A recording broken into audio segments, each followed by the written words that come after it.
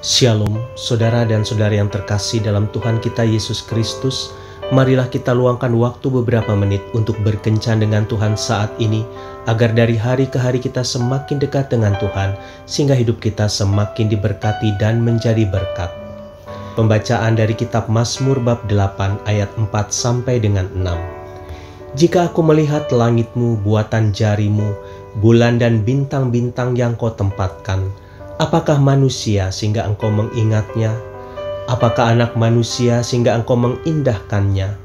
Namun engkau telah membuatnya hampir sama seperti Allah dan telah memahkotainya dengan kemuliaan dan hormat.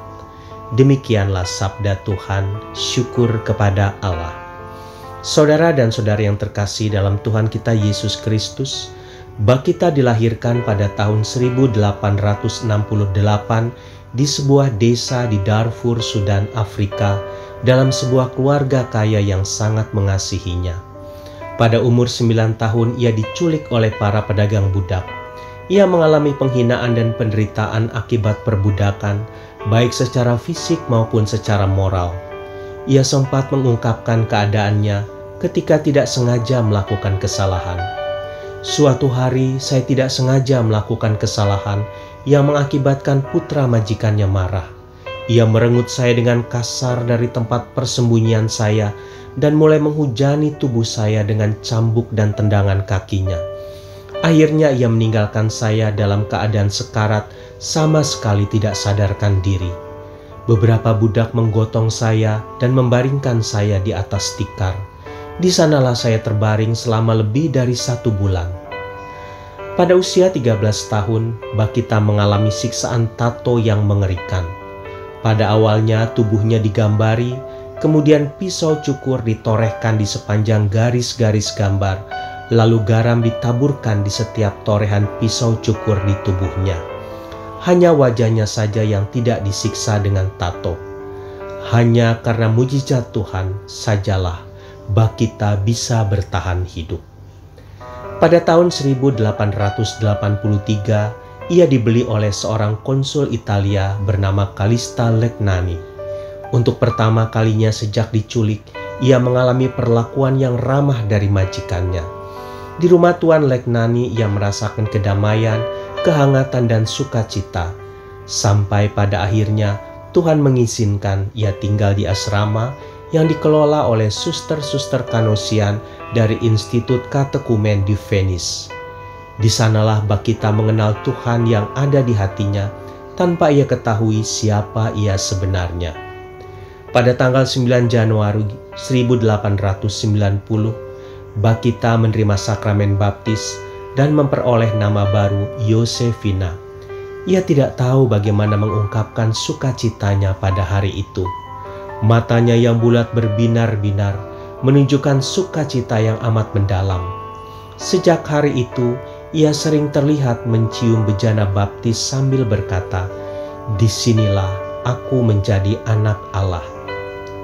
Pada akhirnya Bakita masuk biara dan menjadi suster kanosian di Venesia, Italia. Ia menjadi suster yang lembut, hangat, dan menyenangkan hati anak-anak menghibur mereka yang miskin dan menderita, serta membesarkan hati mereka yang datang mengetuk pintu biara. Saudara dan saudari yang terkasih dalam Tuhan kita Yesus Kristus, bacaan di atas menunjukkan bahwa Allah sungguh mengasihi manusia. Manusia begitu berharga di hadapan Allah, sehingga ia telah membuatnya hampir sama seperti Allah dan telah memahkotainya dengan kemuliaan dan hormat. Itu artinya kita diharapkan memiliki sikap hormat dan mengasihi terhadap sesama manusia. Namun, yang sering terjadi adalah manusia tidak menghargai kehidupan yang sudah diberikan Allah, misalnya bunuh diri, aborsi, merusak tubuh dengan narkoba, seks bebas, dan segala sesuatu yang merendahkan martabat manusia. Saudara dan saudari yang terkasih dalam Tuhan kita Yesus Kristus, Melalui kisah Santa Bakita di atas, kita belajar untuk menghargai kehidupan. Walaupun ia mengalami penganiayaan yang merendahkan harga dirinya, tetapi pada akhirnya ia tidak membawa luka itu di dalam hatinya, tetapi ia justru menyerahkan hidupnya bagi Tuhan untuk menyalurkan cinta kasihnya pada sesama. Mari kita belajar menghargai diri kita sendiri, agar pada akhirnya kita bisa menghargai kehidupan di sekitar kita. Tuhan Yesus memberkati. Marilah kita berdoa dalam nama Bapa dan Putra dan Roh Kudus. Amin. Tuhan Yesus, ampuni aku karena aku sering merendahkan sesamaku melalui sikap, perkataan, dan perbuatanku. Penuhilah aku dengan kasih-Mu agar aku belajar untuk menghargai dan menghormati kehidupan di sekitarku. Amin. Dalam nama Bapa dan Putra dan Roh Kudus. Amin.